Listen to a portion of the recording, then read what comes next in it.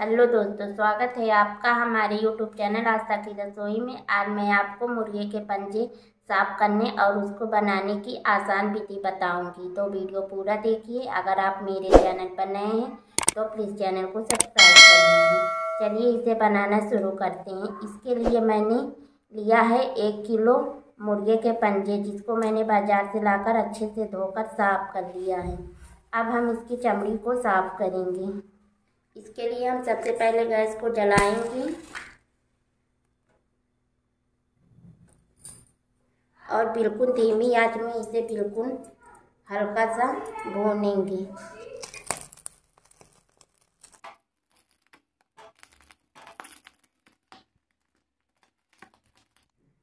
पंजों को मैंने हल्की आँच में भून लिया है। अब हम इसे गरम गरम ही छुड़ाएँगे। ठंडा होने पर यह नहीं छूटेगा।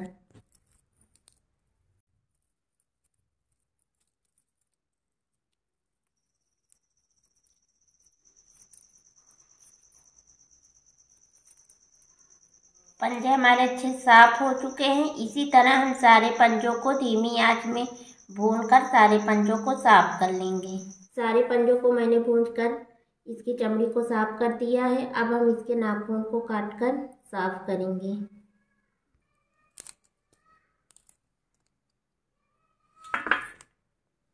सारे नाखूनों को मैंने काट कर साफ़ कर लिया है। अब हम इसमें थोड़ा सा कट लगाएँगे।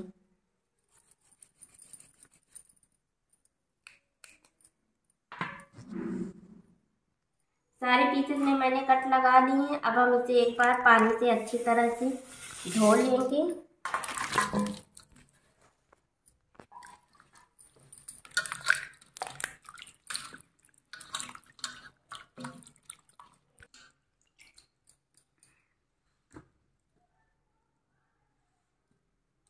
पानी से धोकर मैंने अच्छे से साफ़ कर लिया है। अब इसे बनाना शुरू करेंगे।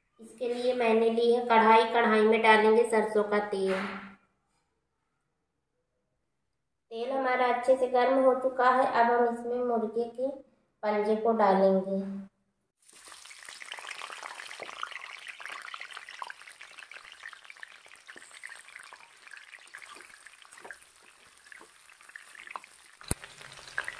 मुर्गे को पंजे को डालने के बाद अब हम इसी में डालेंगे टमाटर।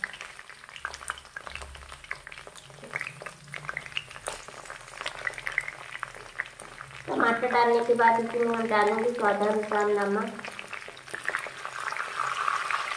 नमक डालकर इसे ढककर तीन से चार मिनट तक पकाएँगे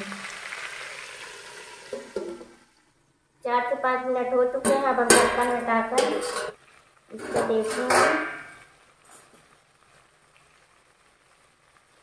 टमाटर हमारे अच्छे से गल चुके हैं, अब हम इसके छिलकों को निकाल लेंगे।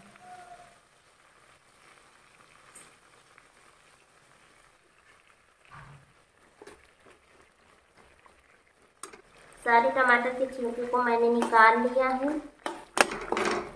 अब हम इसे कलछुल की मदद से टमाटर को अच्छे से मिलाएँगे।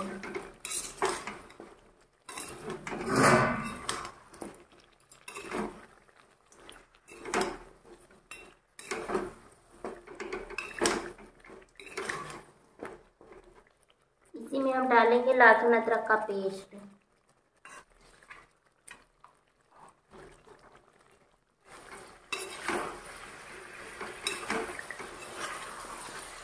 पेस्ट डालकर इसको चलाएँगे और एक से दो मिनट तक इसको अच्छे से भूनेंगे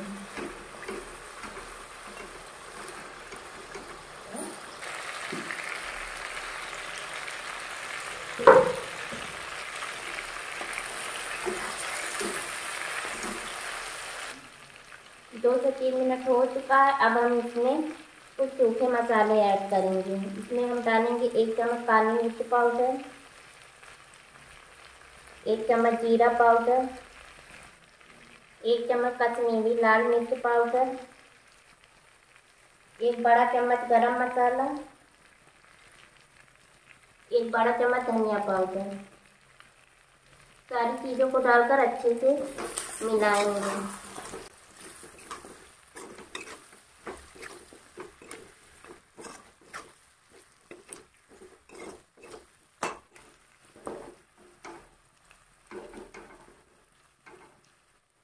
अच्छे से चलाने के बाद इसी में हम थोड़ा सा पानी डालेंगे, ताकि मसाले हमारे अच्छे से पक जाएँ।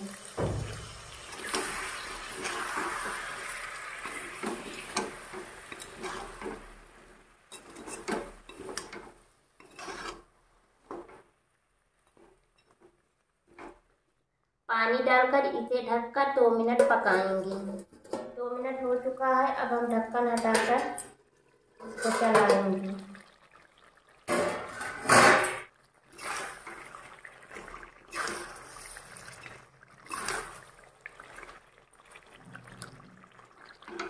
मुर्गे के पंजे हमारे अच्छे से पक चुके हैं। अब हम इसमें डालेंगे थोड़ी सी कसूरी मेथी और हरा धनिया। अब हम गैस के फ्लेम को बंद कर देंगे।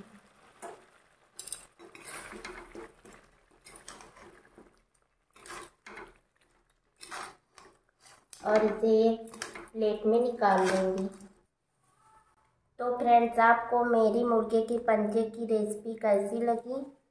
एक बार ज़रूर ट्राई कीजिएगा। अगर पसंद आई हो तो लाइक कमेंट के साथ दोस्तों में ज़रूर शेयर कीजिएगा। वीडियो पूरा देखने के लिए धन्यवाद। मिलते हैं ऐसी ही नई मज़ेदार रेसिपी के साथ। तब तक के लिए बाय बाय